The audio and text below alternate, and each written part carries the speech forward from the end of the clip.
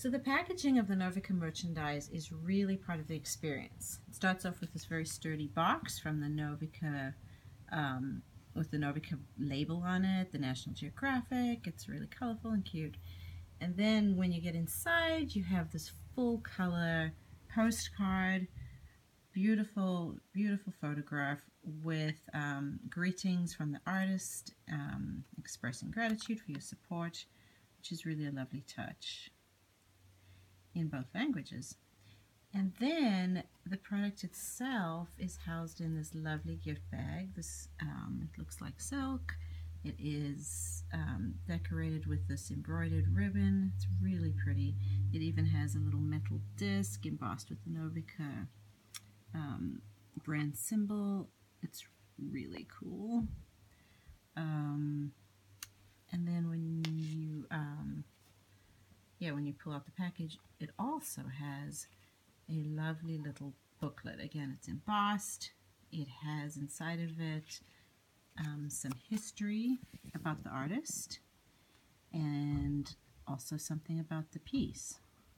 So it, it really is impeccably packaged with lots of loving detail. And I was very impressed with that.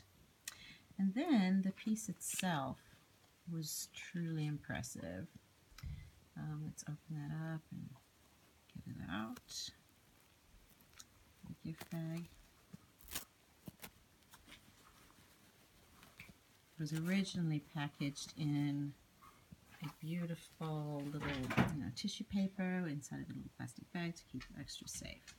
And here it is. This lovely ring. Um, amethyst. And if we hold it up to the light, we can see, you know, it really is beautifully cut. Uh, let me try and get a nice tight shot of that. That's so, so pretty.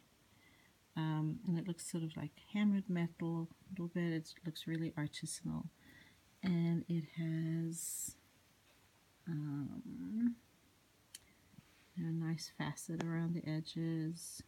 Really catches the light. It has a very nice weight to it as well. Um, it's just, it's both pretty and delicate, but not you know, insubstantial in any way. It's a lovely, substantial piece, and I really enjoy wearing it. The sizing was absolutely perfect, um, just what you'd expect, and it's just a very, very pretty, very pretty ring. I really don't usually love the amethyst stone, but this one is a nice, deep um, purple, catches the light, beautifully cut, beautifully made really pretty piece and I've been ecstatic with it.